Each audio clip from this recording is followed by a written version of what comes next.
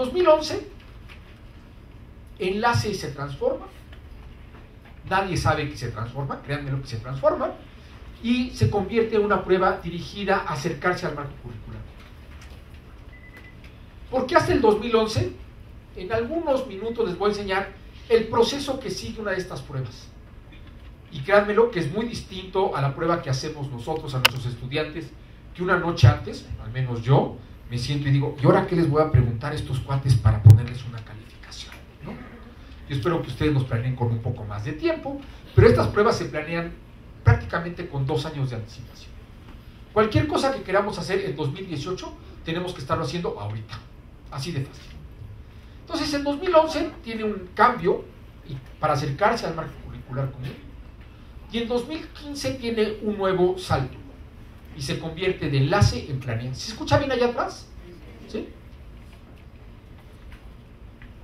Bueno, eh, enlace, luego planea, se enfoca en dos materias, el lenguaje y la comunicación y las matemáticas. ¿Por qué en esas dos? Porque nos guste o no nos guste, son las áreas estructuradoras del conocimiento en el mundo moderno. Las matemáticas son el lenguaje, pues déjenle la luz prendida, no, es necesario que apaguen esa tampoco, creo que se ve bien, ¿no? las matemáticas son el lenguaje de las ciencias. Y la comunicación es el lenguaje entre los seres humanos. Por eso nos centramos en esas dos áreas de conocimiento.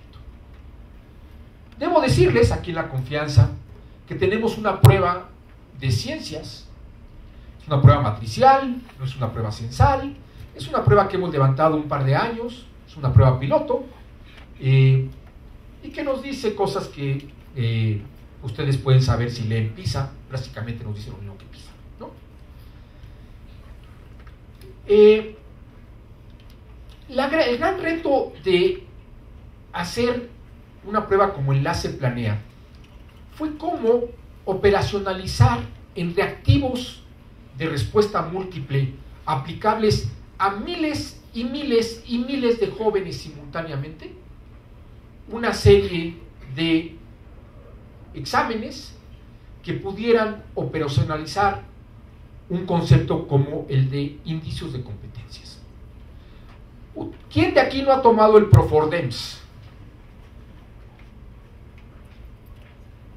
1, 2, 3, 4, 5, 6. Bueno, Está abierto ahorita un nuevo curso que es el equivalente a Profordems. Espero que lo estén tomando y si no, inscríbanse por favor. ¿no? Si tienen problemas en sacar una clave, me avisan y tienen su clave para que en el Profordems. Pero todos aquí entonces que cursaron el Profordems, que puede ser malo o muy malo, no voy a decir que sea bueno, ¿no? Al menos entendieron el concepto de competencia. Y saben que el concepto de competencia, para ser eh, reconocido, evaluado, eh, valorado cabalmente, requiere de instrumentos un poquito más difíciles que un examen de opción múltiple.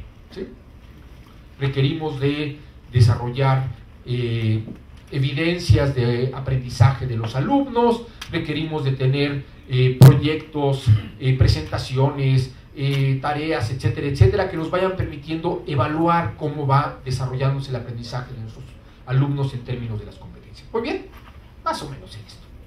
Pero el tema principal es que cuando uno pasa un examen masivo, masivo quiere decir 1.1 millones de personas, ¿no? Uno no puede funcionar mediante rúbricas. Es prácticamente imposible hacerlo. No hay quien lo pueda hacer. Y tuvimos que encontrar una manera de acercarnos mediante un proceso de reactivos de opción múltiple que pudieran ser procesados con relativa velocidad. Ustedes ven la prueba planea, la prueba enlace, son ojillos, ojillos ópticos que se leen. Bueno, esos exámenes nos llevan aproximadamente un mes de lectura. Y luego llevan aproximadamente un mes y medio de procesos complejos de muchas, muchas personas para hacerlo. Y luego llevan una serie de procesos todavía más complejos para saber si lo que estamos leyendo es correcto. Déjenme decirles, acaban de terminar el análisis de copia. Análisis de copia se hizo mediante 8 métodos distintos. Se necesitaron 24 servidores trabajando 15 días continuamente para encontrar que la tasa de copia fue de 2%. Una joya de documento, ¿eh? créanme. Yo cuando terminé de verlo dije, wow, ahora sí ya vi todo en la vida. Pero imagínense 24 servidores, pero servidores de veras, ¿eh? ¿Ustedes no se imaginan un servidor de esos? No los tenemos en la subsecretaría, ninguna de nuestras direcciones generales, trabajando 24 horas durante 15 días para poder saber que los exámenes no habían sido copiados. Bueno, eso hacemos con estas pruebas. Se centra en un tipo de estudiante, los estudiantes del tercer grado. Este es un espacio de muchísima discusión. Habría quienes nos dirían que deberíamos concentrarnos en los, en los jóvenes de primer grado para poder hacer una prueba diagnóstica que nos dijera cómo cuidarlos en el grado 2 y 3. Yo creo que tiene razón quien lo diga, ¿no? Hay quienes dicen que al tener el tercer grado podemos ver cómo están saliendo los que salen y poder corregir hacia atrás. ¿Cuál es la gran debilidad de este tipo de pruebas? Los jóvenes que llegan ahí son selectos.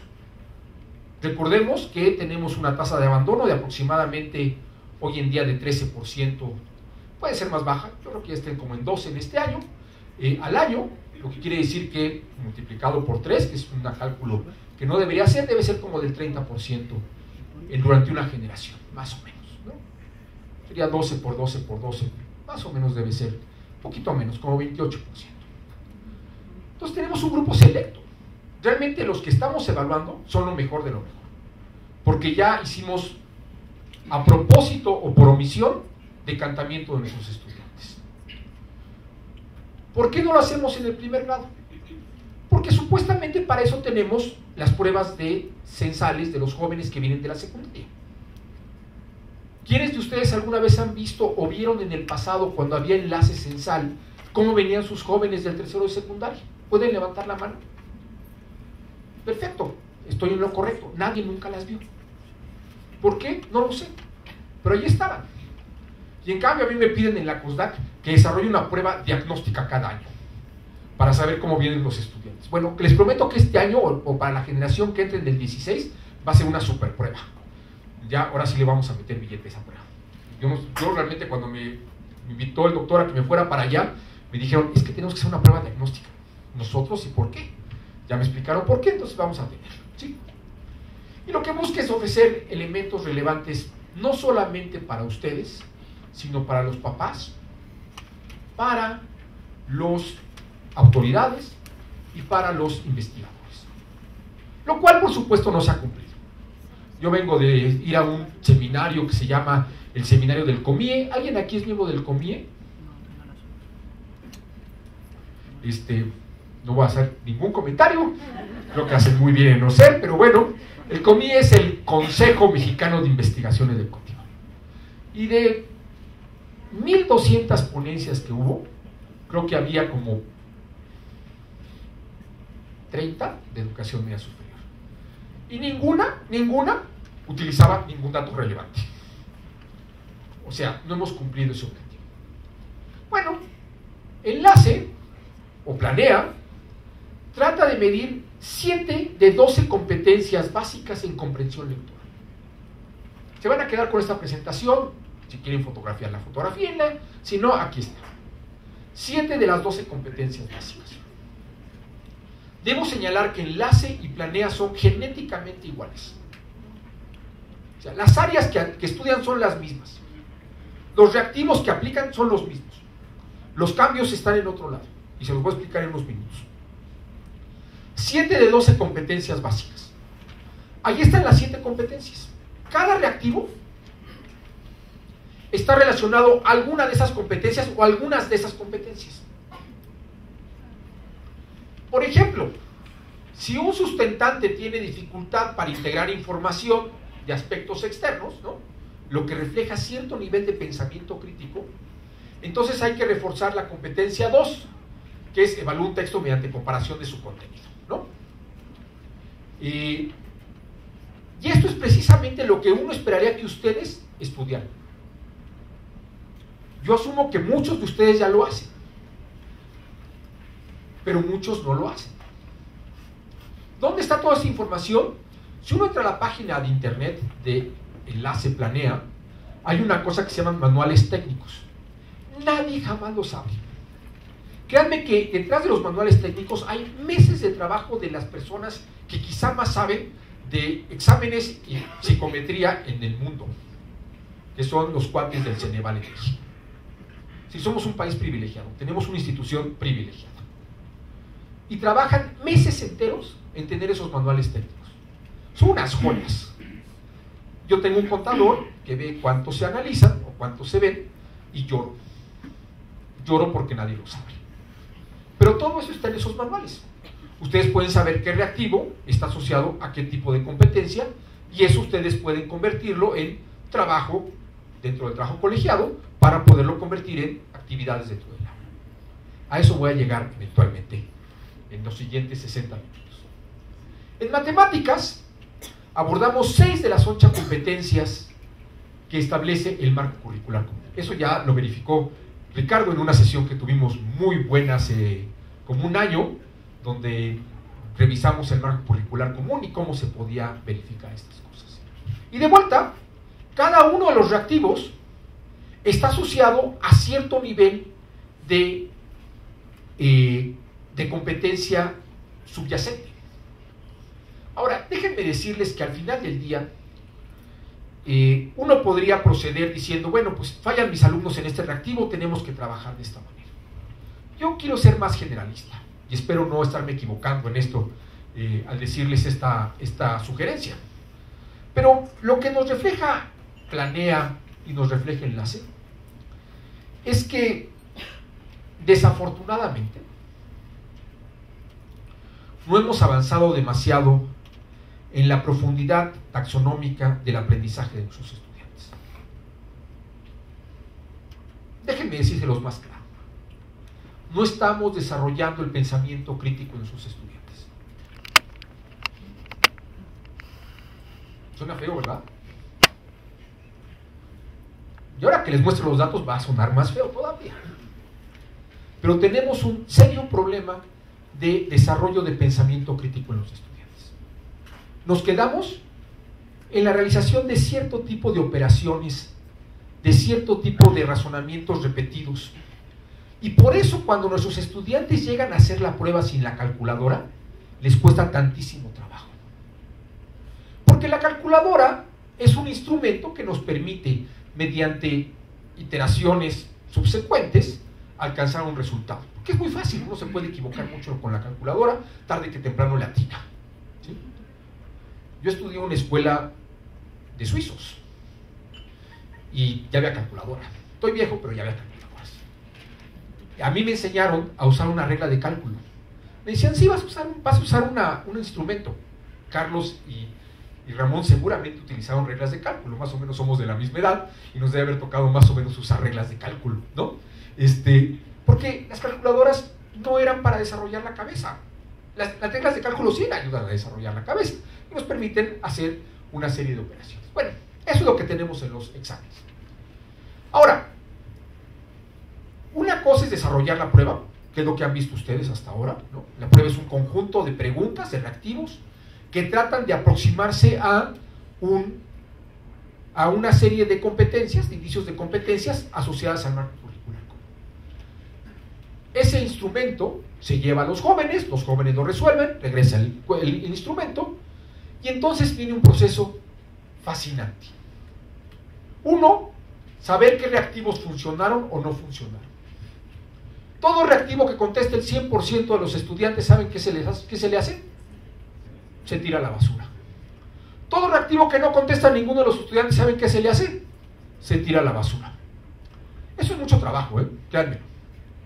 Segundo, se tiene que checar qué tipo de preguntas son contestadas sistemáticamente por azar. Se puede saber, ¿eh? Hay, algoritmos matemáticos que nos permiten saber ese tipo de cosas. Y tercero, ¿sí? Hay preguntas que nos interesan muchísimo porque son las que nos discriminan. Que son como las preguntas de frontera. Entre un, entre un escalón y otro hay cierto tipo de preguntas que son clave. Y esas nos interesan muchísimo. Segundo, una vez que se decide eso, tenemos un valor puntual. La prueba tiene un valor puntual, que no va de 1 a 10, porque los psicómetras son muy especialitos y no les gusta que la gente piense de 1 a 10. le gusta que la gente piense de menos 3 a 3, de menos 2 a 2, piensan que nos chupamos el dedo, ¿no? Es una escala logarítmica, podemos perfectamente hacer una transformación, pero bueno, a ellos les gusta expresar las cosas en esos numeritos. El 0 usualmente es el punto medio. Y como leer puntajes de esa manera no es especialmente sencillo para la gente, lo que sigue es pasar a un procedimiento de agrupación en categorías. Lo que ustedes conocen como los grupos en enlace o como los niveles en planea. En enlace eran insuficiente, eh, suficiente, bueno y muy bueno, ¿no? En y excelente, perdón, en planea es 1, 2, 3 y 4. Porque no podemos decir nada. Más vale que digamos 1, 2, 3 y 4. Como si la gente no supiera qué quiere decir 1. Pero bueno, ya ven cómo soy muy sarcástico yo con mis cuates.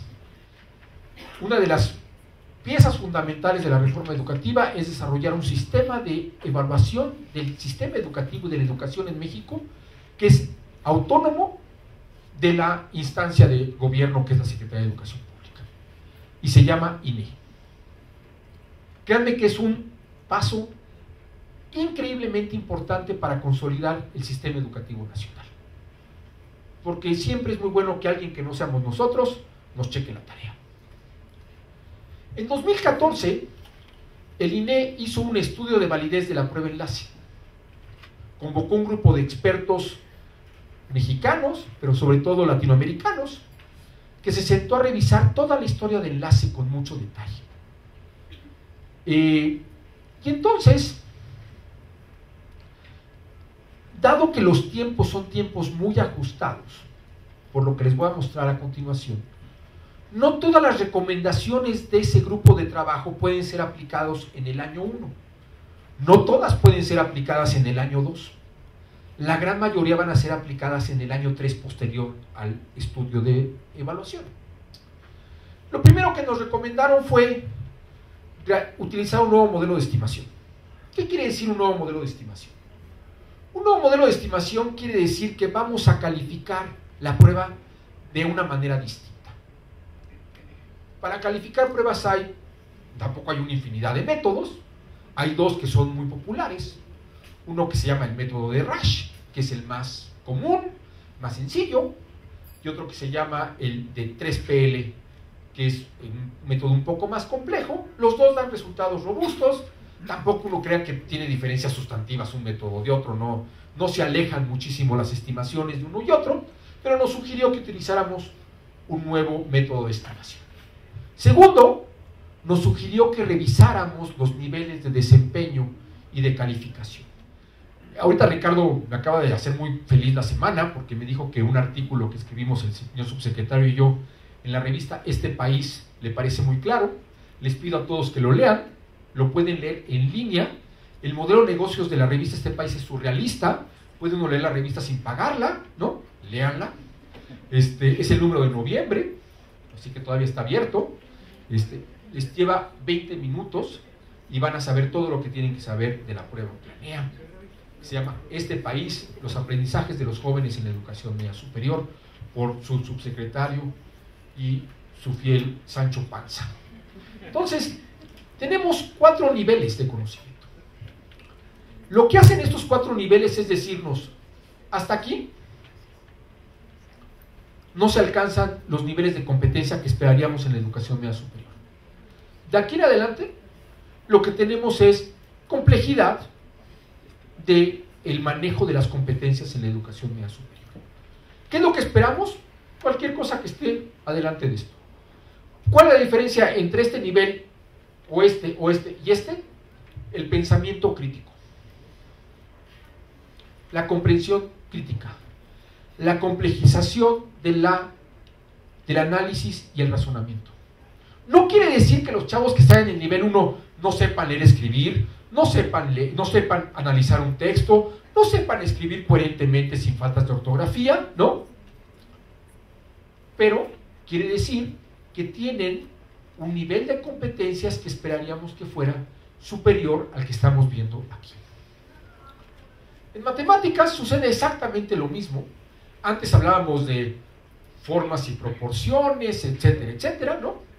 Eh, realmente lo que tenemos es de vuelta un manejo de números directos, de números enteros mediante fórmulas directas.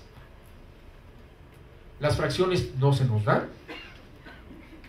Y después tenemos una serie de desarrollos y de complejidad hacia la aplicación de las matemáticas en la vida cotidiana. ¿Cuál es la aplicación de las matemáticas más importante en la vida cotidiana? ¿Cuál? La distribución del ingreso. No. La aplicación más importante de las matemáticas en la vida cotidiana se llama la estadística. Es el aporte más importante. Saber cuál es nuestra tasa de crecimiento de la inflación, saber cuál es la tasa de crecimiento de los precios, saber qué porcentaje de la gente hace A, B o C. Créanme que las decisiones de la vida cotidiana, saber estadística es lo más importante que pudieran tener cada uno de nuestros estudiantes. En la vida cotidiana eso es lo que importa. Saber estadística. ¿Y saben qué no saben nuestros jóvenes? Estadística. Porque ustedes, que son quienes hacen los planes y programas de estudio, no les gusta la estadística. Y entonces la mandan al sexto semestre, y ahí de aquel que no, toque, no le toca, que no le toca la mitad de los estudiantes además, ¿no?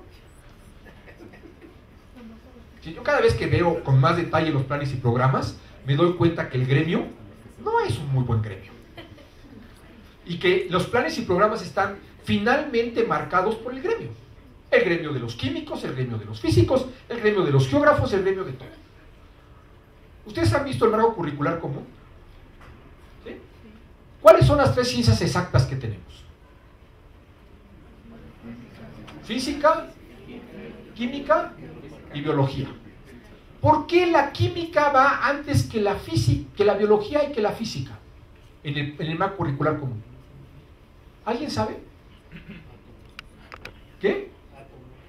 No, eso sería la física, no la química. ¿Por qué la química va antes que la física o la biología?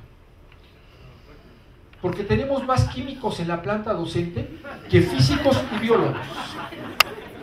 Créanmelo, ¿eh? Y entonces, como había más, ya hay más grupos de primero que de segundo año que de tercero, manden la química para adelante, créanmelo. Esa es la razón. Pedagógicamente no habría ninguna razón para que fuera la química. Yo me inclinaría por la física, pero ese es mi sesgo personal. Como no soy yo quien lo hace, lo que les puedo decir es qué fue lo que hicimos y qué no fue apropiado. Bueno, el caso es que tenemos cuatro niveles. El nivel uno es el que tenemos deficiencias en el desarrollo de las competencias, nos falta mucho en desarrollo de fracciones, pero sobre todo nos falta mucho en desarrollar fracciones para entender el mundo. Se llaman quebrados. Todos funcionamos con quebrados todo el santo día. Siéntense un día y piensen todos los quebrados que operan todos los días. ¿eh? Se van a dar cuenta que es fascinante el mundo si lo ven por el quebrados. Ahora vamos a vernos a nosotros. Esta es la. ¿sí? Luego los voy a comparar con mis compadres de la DGT, que son muy buenos. Esta es la DGCITEM. Estos son la mitad de los planteles. Aquí está la otra mitad. No se apuren, todos están aquí. Hay muchos que no están porque no tienen por qué estar, porque son los planteles nuevos que he estado abriendo y Ramón a lo largo y ancho del país y que todavía no llegan al tercer grado y por lo tanto no pueden estar reflejados aquí. ¿Sí? Lo que tienen que ver es la línea azul. La línea azul es el nivel 1. ¿sí? Esa es la línea que tienen que ver. Y tienen que ver la línea amarilla. La línea amarilla es el nivel 4.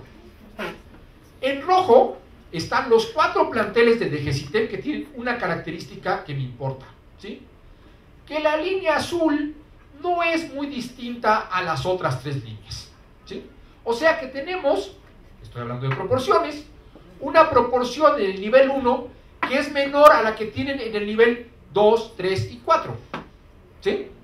Eso considero que es aceptable. ¿Estamos de acuerdo? No bueno, aceptable. Y entonces destaco el trabajo para comunicación y fíjense lo que voy a hacer, comunicación primero, ¿sí? Destaco el plantel de, ese debe ser Ensenada, ¿verdad? Correcto. ¿Sí? ¿Quién está aquí de Ensenada?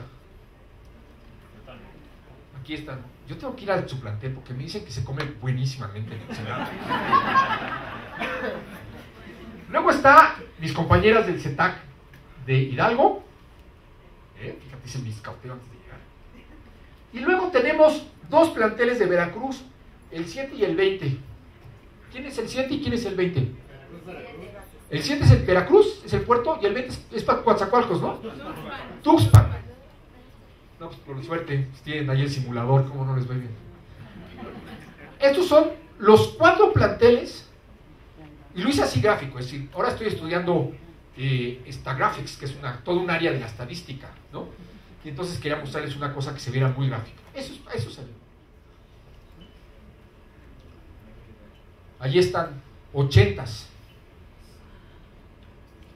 Ochentas. ¿Cómo se ven respecto al país? Comunicación.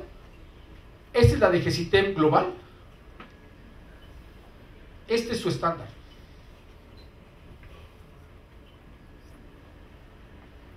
La de es su estándar. ¿Está claro? El estándar es uno de cada tres en el nivel 1. Quisiéramos que fuera uno de cada cuatro, pero vamos a aceptar que sea uno de cada tres por lo pronto. No uno de cada dos. ¿Estamos? Si a mí me dijeran que quisiera ver yo en la educación media superior, yo quisiera verlos a todos como el CETI de Guadalajara. ¿Quién viene aquí de Chapala? O Cotepec. ¿Vale? Ah. ¿Ustedes conocen el CETI de Guadalajara? Sí. ¿Sí? Bueno, así quisiéramos que fueran todos los planteles. Ustedes pueden serlo. Si son un plantel pequeño, sí, déjenme decirles por qué este es el estándar que debían tener ustedes. Ustedes son, dependiendo del día y del impulso que trae Ramón, 42 planteles hoy, ¿no? 46 planteles. Si lo pregunto mañana van a ser 48 y si lo pregunto el viernes van a ser 50. Entonces, ahorita son 46, bien, yo me quedé 42. ¿sí? La de gente tiene 480, dependiendo, 460 y tantos, dependiendo del día también. Este, cuando uno tiene 40 planteles, la probabilidad de hacer muy bien las cosas es muy alta, porque la varianza es muy pequeña. Cuando uno tiene 400 todo puede pasar.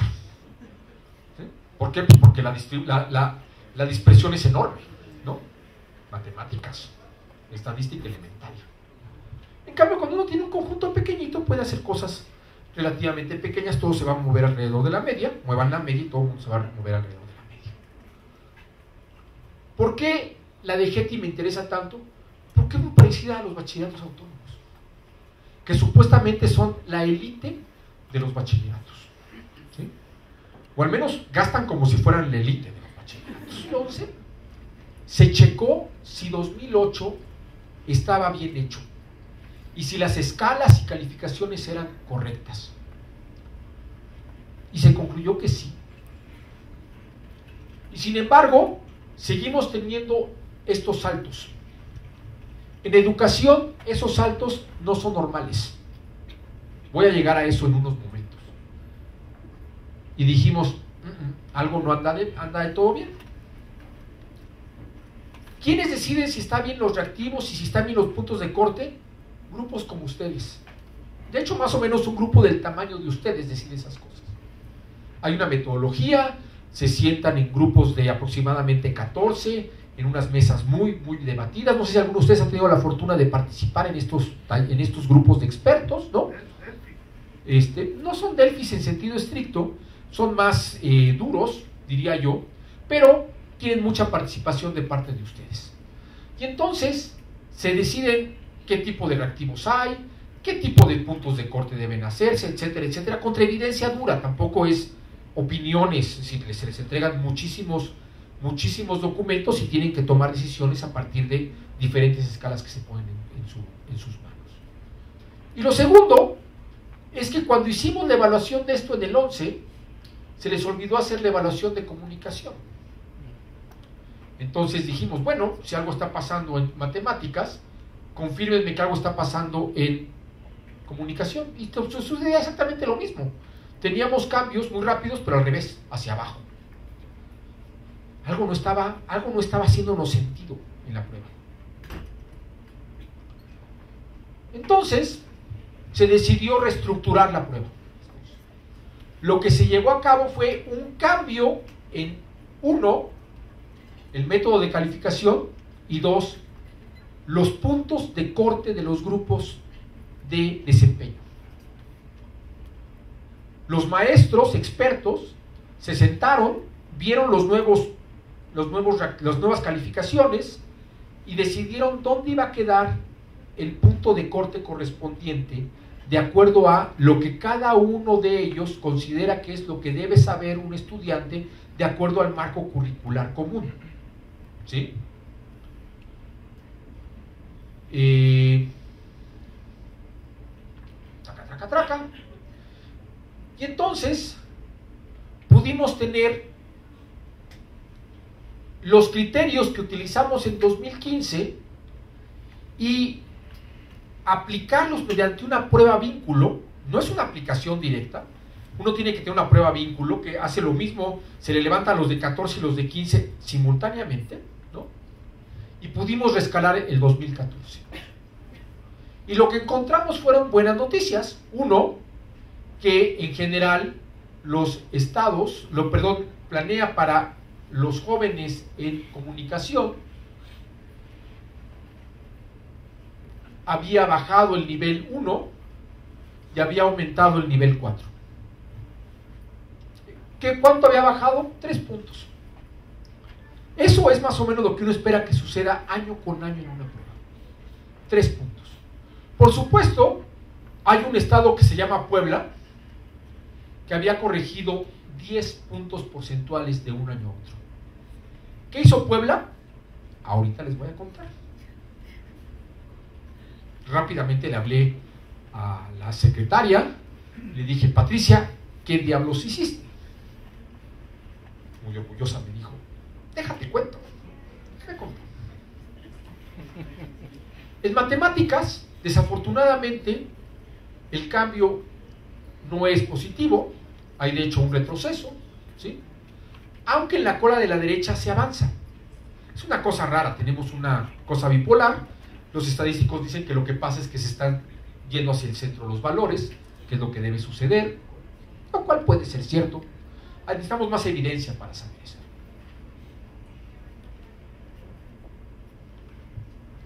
Estos son ustedes.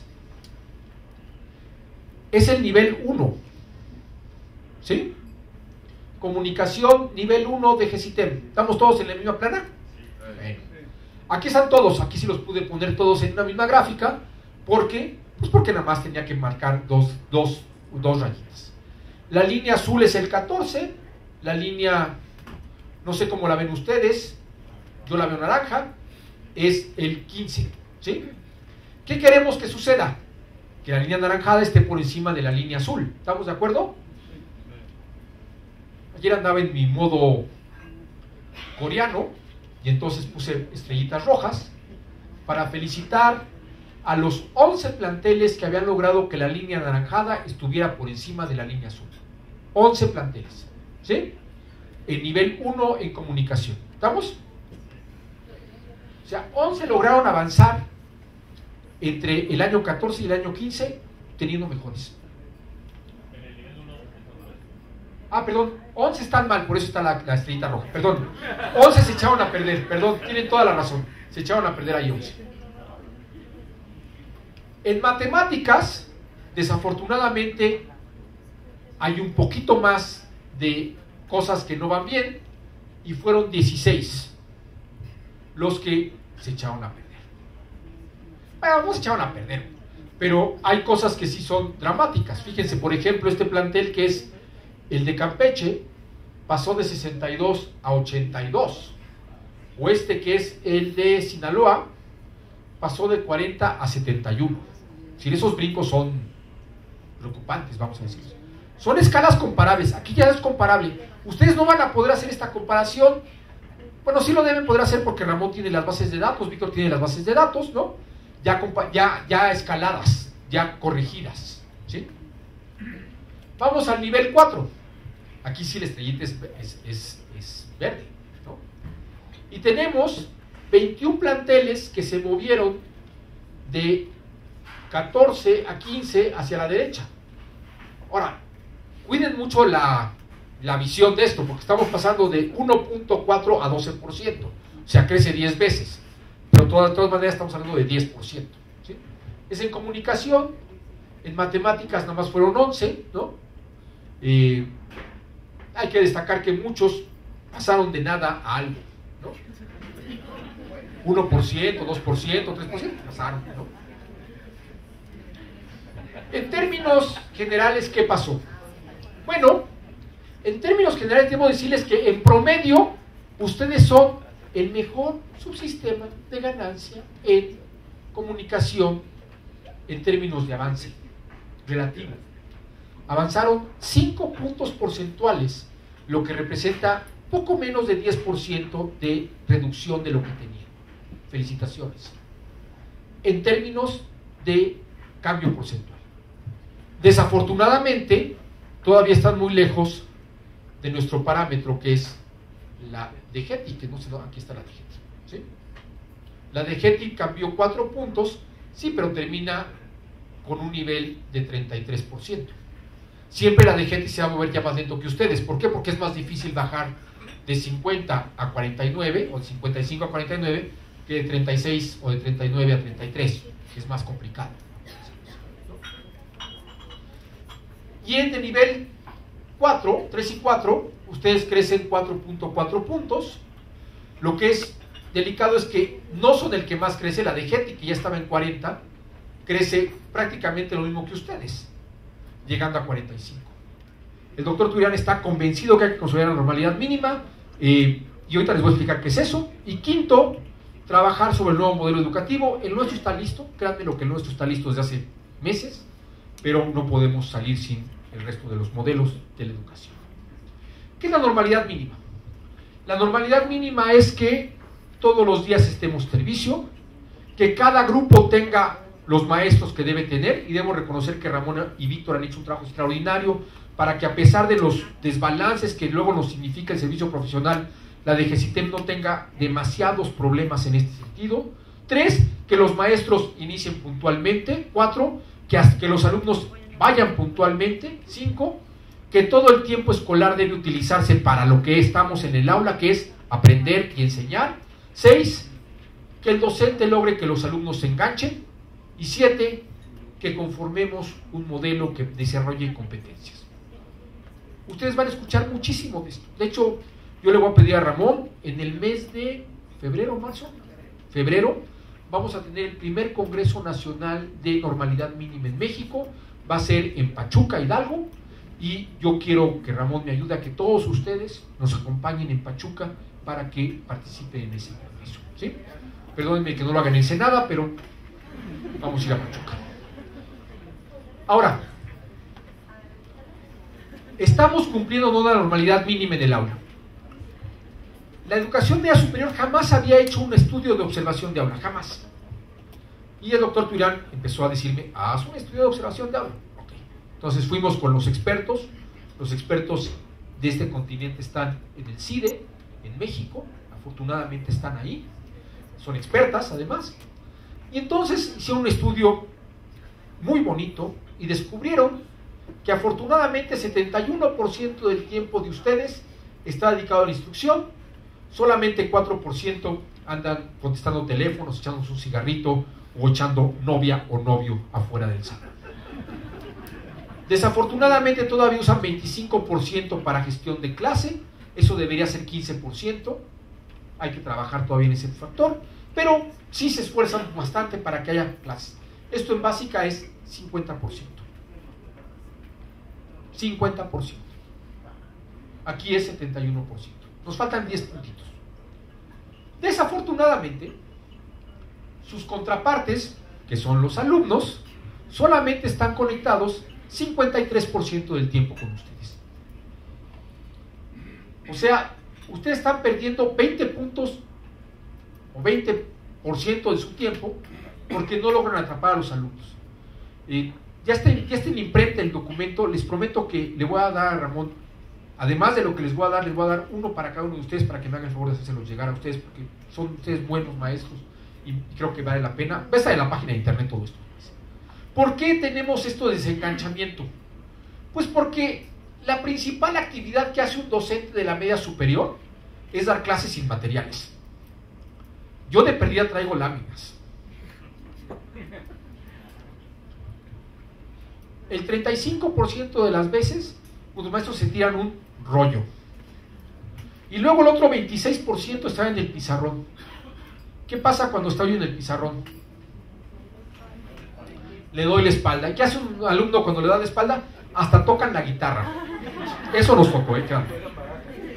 Uso de las TICs que destacaba tanto el ingeniero Morán, 12% nada más.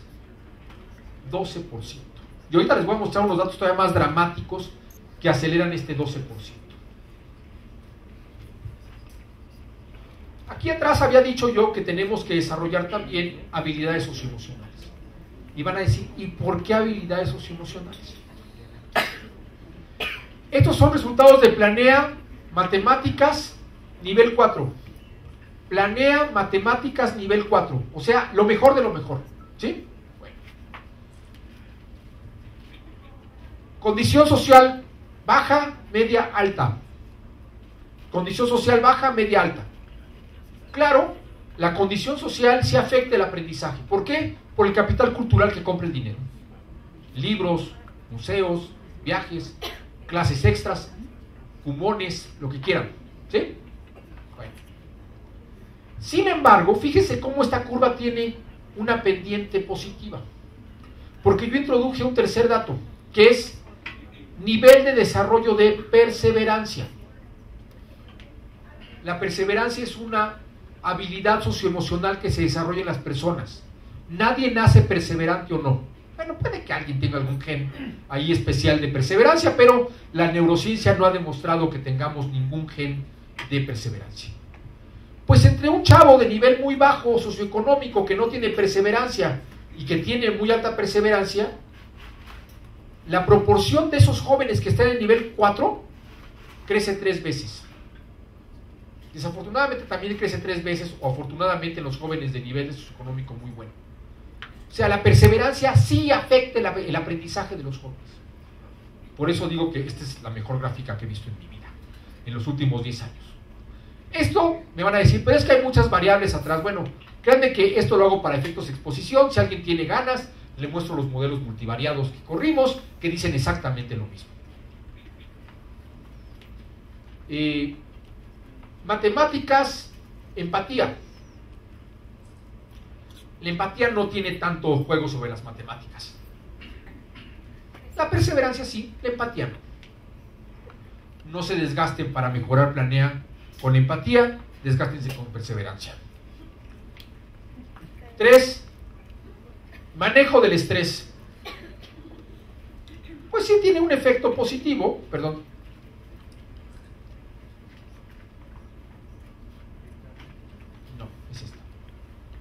tiene un efecto positivo, pero es menos marcado que en las matemáticas. Si se dan cuenta, las curvas son menos. La que sí es muy importante es manejo de toma de decisiones. Vean esto. Cuatro veces el efecto en los chicos de mejor nivel socioeconómico. Conclusión. Dedicar 15 minutos de su clase a desarrollar habilidades socioemocionales reditúa en los aprendizajes cognitivos. ¿Cómo lo van a hacer? Van a ir a las páginas de Construyete, van a sacar ocho rutinas que tiene la página de Construyete sobre perseverancia, les va a llevar 15 minutos de su clase y lo van a hacer durante los siguientes tres meses antes de que sea la prueba de planea. Porque tiene efecto. Y esas rutinas nos han demostrado que sí tienen efecto sobre el desarrollo de habilidades. Si quieren un día, me invitan y les platico por qué podemos desarrollar habilidades socioemocionales en chavos de 15 años. Este, hay toda una fundamentación neurocientífica Termino con dos ideas. Uno, el trabajo colegiado. Aquí lo que estamos viendo es los treinta y tantos, los cuarenta y tantos planteles de, GECITEM, ¿sí? Cómo están en términos de sus academias, ¿sí? En general las academias de ustedes siguen siendo academias disciplinares. No tenemos todavía academias transversales como quisiéramos. Esa es una agenda pendiente que vamos a ver con Víctor con detalle. ¿sí? ¿Qué es lo que hacen en las academias? ¿sí? Pues analizan muchas cosas. Yo nada más destaco dos que no se analizan tanto. Eso, todo esto es infographics, ¿eh? porque si ven los huecos saben dónde están los problemas. ¿no? Uno es, no discuten la gestión educativa en el aula no discuten la gestión educativa en el aula. Rosario va a dedicarse hoy en la tarde a convencerlos de que discutan la gestión educativa en el aula. Y dos, no ven recursos didácticos. El doctor Cantoral tiene un ejército de doctorantes en matemáticas en el país. Yo tuve el gusto de conocer a muchos de ellos en, los, en las sesiones de la revisión del modelo educativo. Y me fascinaba porque ¿saben lo que me iban a contar? me iban a contar cómo hacían recursos didácticos para enseñar ángulos y pendientes y sumas y estadística. Era fascinante. No me iban a tirar un rollo sobre cómo desarrollar competencias. Me enseñaban cómo se desarrollan las competencias. Y eso se desarrolla con recursos didácticos. De salivita no vamos a cambiar el negocio. Se cambia con prácticas concretas. Y las prácticas concretas tienen que ver con recursos didácticos que se aplican en el aula. Lo que ustedes vieron anteriormente de observación de aula, eh, hoy en día estamos grabando clases, estamos grabando 100 clases en todo el país. Eh, vamos a analizarlas con detalle. ¿Por qué? Porque lo que vimos es, por ejemplo, clases como la siguiente. Vamos a ver ángulos. Y no falta el maestro que tiene su triangulito este de madera, ¿no? Y entonces se para y explica. En cambio había otro chavo que era buenísimo, que mandaba a sus alumnos a sacar ángulos con los teléfonos celulares. Ahora me sacan un ángulo de 45 grados y otro me saca uno de 90 y me dicen por qué es importante que en una construcción haya ángulos con dos lados iguales, etcétera, etcétera. Y por último, lo que no hacen en las academias es lo que les decía que tienen que hacer las academias, que es fortalecer el desarrollo de los maestros. Y el desarrollo de ustedes como profesionales no se logra con cursitos. ¿sí? Se logra con la combinación de cursos muy cortos y mucha discusión en la academia. ¿Por qué las academias les va tan mal? Uno, porque nadie da seguimiento a los acuerdos, nadie. Y dos, porque no hay transversalidad en el trabajo de ustedes. Yo no lo dije, ¿eh? eso es lo que está ahí en, eh, en las líneas verdes que son las que destacan los Tenemos toda una serie de estrategias innovadoras que ustedes están desarrollando. Ya voy a terminar. Nada más quiero marcar una serie de cosas respecto al tema que trataban con tanta insistencia eh, el ingeniero Samanillo y el ingeniero Morán, que es el uso de las computadoras. Si es cierto, tenemos estudiantes que usan internet, que tienen tabletas, que tienen teléfonos inteligentes, tenemos todo. Nada más que tenemos estudiantes que viven en 140 caracteres, este, Instagrams o lo que quieran. Ahí les ve el ejemplo. Estos son datos de, las, de Planea 2015. Buscan información en Internet cinco días a la semana, 30% de los estudiantes. De hecho, 10% no lo hacen nunca. Adjunta o descarga archivos, que es una actividad mucho más sofisticada que buscar información en Internet, y que refleja el uso de la computadora para algo que tiene una profundidad taxonómica un poco más alta que estar jugando. Solamente 12.4 lo hace muy frecuentemente. 42% no lo hacen más que una vez a la semana. Utilizar un procesador de texto solamente lo hace el 11% de los estudiantes de manera sistemática utilizar una hoja de cálculo solo lo hace el 5% de los estudiantes de manera sistemática. Y puse una hoja de cálculo porque las compañías más sofisticadas de consultoría del mundo lo que le piden a los jóvenes es que sepan usar hojas de cálculo. McKinsey y Pricewaterhouse y cualquiera de estas, eh, lo que le piden a la gente es que haga todas sus operaciones en una hoja de Excel. Por dos razones. Uno, porque demuestra que tiene razonamiento. La paquetería estadística, hasta yo la puedo usar. ¿sí? Y segundo, porque uno puede revisar las tonteras que hacen las gentes. uno puede revisar los algoritmos. Y nosotros no estamos haciendo eso. Ahora me van a decir, es que no tenemos banda ancha. Bueno, sí es cierto, la banda ancha hace la diferencia, pero afortunadamente no es la que cambia la vida de las personas. Termino nada más señalando que agradezco a todos ustedes que han hecho un plan de trabajo para mejorar Planea. Esta es su base de datos. Ustedes lo inventaron y es lo que estamos usando en todo el país ahorita. Todos ya tienen su base de datos. Eh, les pedimos que usaran algunas cosas elementales y ustedes inventaron otras. Les agradezco muchísimo que lo hayan hecho. Todas estas las elaboraron ustedes, todas son ustedes. Aquí lo reflejo. Todos los que tienen una estrellita son cosas que no hemos visto más que en ustedes. Y los felicito. Las rojas quiere decir que no completaron lo que tenían que hacer. Este es el de Irapuato, creo que es el CETAC, Irapuato. Irapuato, este es el de... Eh, es Guerrero, no sé cuál sea este. Puerto Vicente, Guerrero tampoco terminó cabalmente su, modelo. Eh, el de el de Hidalgo no lo hizo tampoco. Eh, me preocupan estos dos, que es Oaxaca, Quintana Roo, que sistemáticamente son de los planteles con más problemas, que tampoco hicieron ningún esfuerzo extraordinario. Cumplimos y ahí la dejamos. Está bien, si quieren cumplir, la dejamos, es su decisión. Eh, este otro de Veracruz, que le falta, y este otro de Veracruz. Este, este es delicado, ¿eh? porque no hizo ni siquiera los básicos y es de los planteles que en general tienen problemas históricos con su base. Les recuerdo que a partir de hoy, bueno, no te lo recuerdo ustedes, sus directores a partir de hoy van a empezar a vaciar los informes de avance para ver con qué hemos hecho, ¿no? Y yo espero que eh, en abril tengamos un muy buen examen, espero que en agosto tengamos mejores noticias les agradezco muchísimo la atención que han tenido. Espero haber cumplido más o menos con eh, lo que me habían pedido.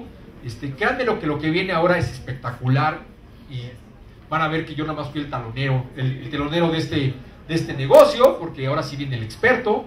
Eh, les, le agradezco muchísimo que nos haya eh, aceptado esta invitación.